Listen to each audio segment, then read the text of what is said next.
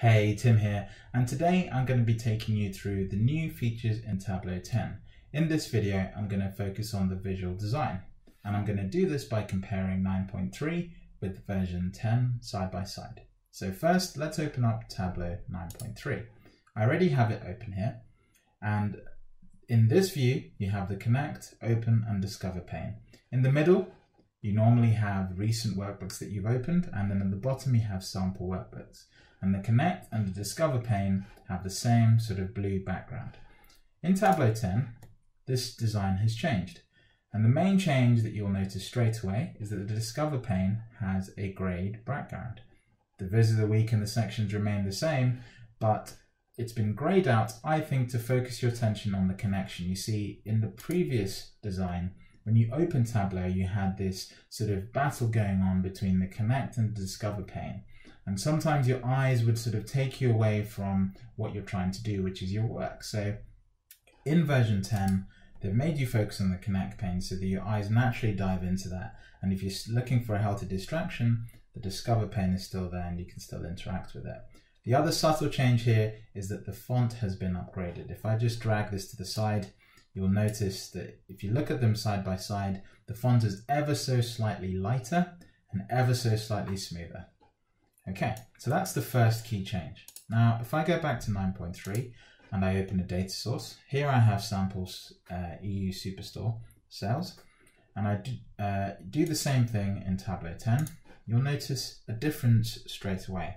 So let me just switch back to 9.3. You have your dimensions and measures, uh, pages, filters, marks, columns, rows, and then you have your canvas. In Tableau 10, the canvas takes up the whole space straight away, you don't have to build a visualization for that to happen.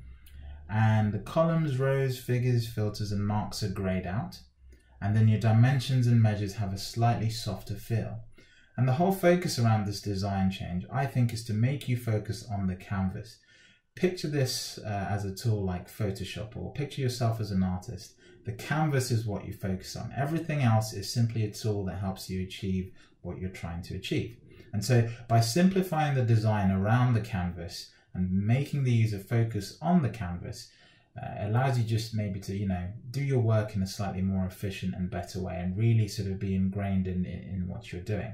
I mean, that, that's my personal opinion of why the design has changed. And I think that's been reflected in some of the blog posts that Tableau have been talking about. The other thing you'll notice is that the iconology has changed. So the icons have changed throughout the tool. The application icons have changed. This always happens between versions. But also you have these marks icons that have also changed. And when you click on those, they also have subtly different elements within them. And one thing you'll notice throughout Tableau 10 is that the defaults have changed. And so here you can see the color panes are slightly different to what we're used to. If I look at the same ones in Tableau 9.3, you'll notice these are much darker, sort of stronger colors. And Maureen Stone has done a great blog post on the Tableau blog about why these defaults are the way they are. So please check that out. If we build a visualization, you'll also see defaults behaving differently. So I'm going to build a visualization first in 9.3. I'm going to drag product name onto detail. Then I'm going to drag profit onto color. And here Tableau makes a decision and uses the red and green coloring scheme to show me profit and loss. And then I'm going to make this a scatter plot by dragging sales up top and then control dragging profit so that it copies the field and I get my scatter plot. It's a very simple chart. Just, just take a moment to just take this in, look at how it feels, look at where the canvas is. If we do the same thing in Tableau 10, for a start, the canvas is already taking up the full page. I'm going to drag profit onto color this time. Then I'm going to drag product onto detail.